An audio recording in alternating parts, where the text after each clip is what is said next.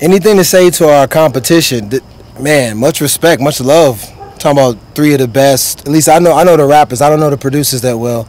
Uh, other than um, Dre, I know Dre. I know he uh, owes me a lot of money, so he might be first to catch. You know what I'm saying? To catch whatever whatever the switch up is, he might be uh, first on that list. But nah, in all seriousness, you talking about Bates, Rec, T Double, three of the best rappers the city's ever produced.